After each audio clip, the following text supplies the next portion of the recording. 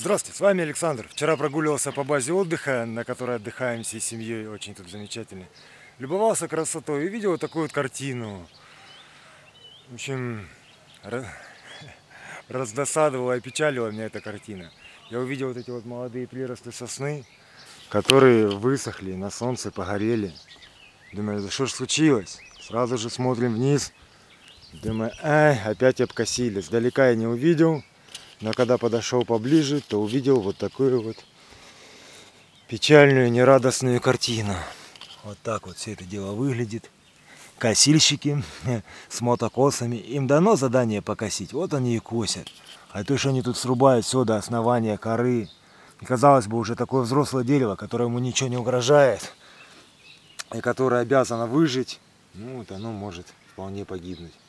Потому что, ну, две трети коры повреждено,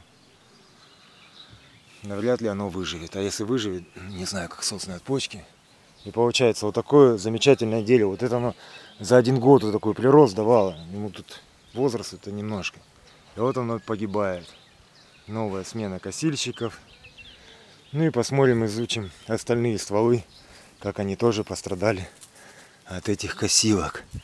Ну вот он тоже, вот он. Смола выступает, плачет, дерево плачет. Не знаю, они тоже, конечно, им надо все дочисто. А что там дерево твердое, откуда они знают, что оно там так страдает? Оно очень сильно страдает. И вот такая вот аллея загублена каким-нибудь юным парнем, которому сказали коси. Вот он и косит.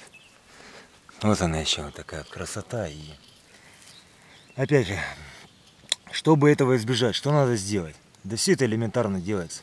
Берется баклажка, отрезается дно, верхушка, выкидывается, а средняя часть вдоль разрезается. И это дело одевается на ствол.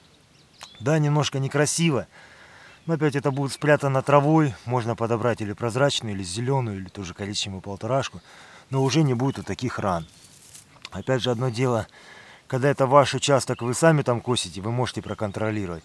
А другое дело, это если посажено в тех местах, где вы не можете проконтролировать косильщиков или еще что-нибудь. Ну вы можете сделать вот такие вот защиты.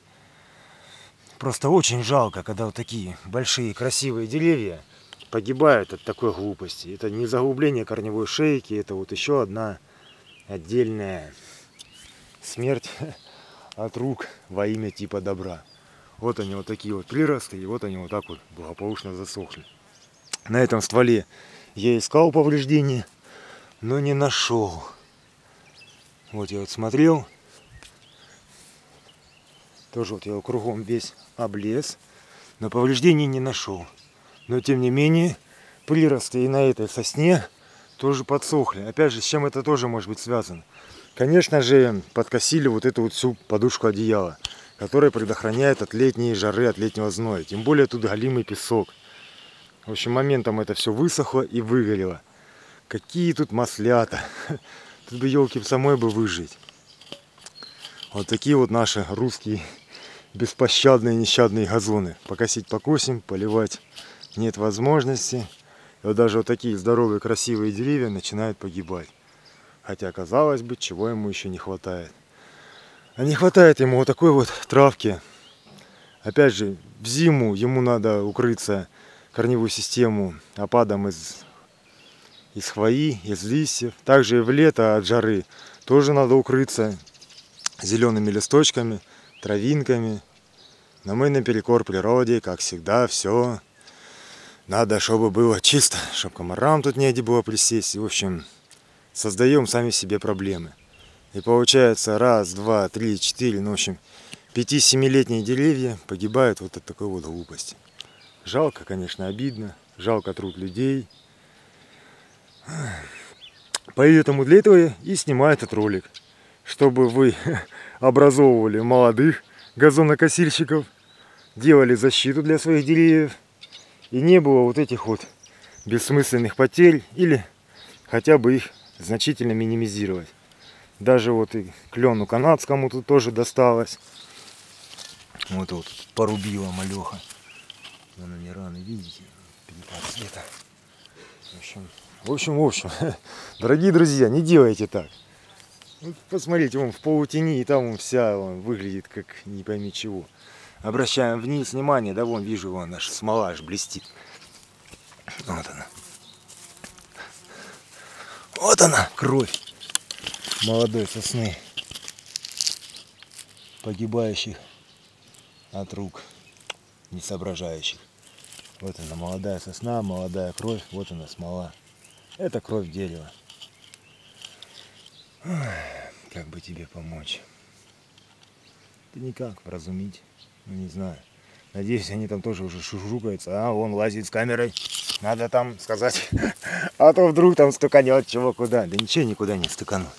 Я вообще не любитель стучать. Я любитель садить деревья и подбивать на это других замечательных людей, человеков. В общем, дорогие друзья, садите вот такие вот прекрасные деревья, сосны, клены, да все подряд. Все, что растет. Давайте вместе восстанавливать нашу природу, нашу матушку землю, чтобы она была зеленой, сочной, не пересыхала. В ней было очень много жизни, чтобы здесь птицы вели гнезда, и насекомые строили свои домики. И всем-всем-всем хватало питания и жизни, и всего хорошего. На этом будем закругляться. Дорогие друзья, зрители, желаю вам всего доброго, счастья, здоровья. Садить деревья, любоваться природой и покидать эти бетонные скворечники. Для начала хотя бы изредка, чтобы сравнить. А когда ты сравнишь, то выбор становится очевиден. Еще раз желаю счастья, здоровья. Пока-пока.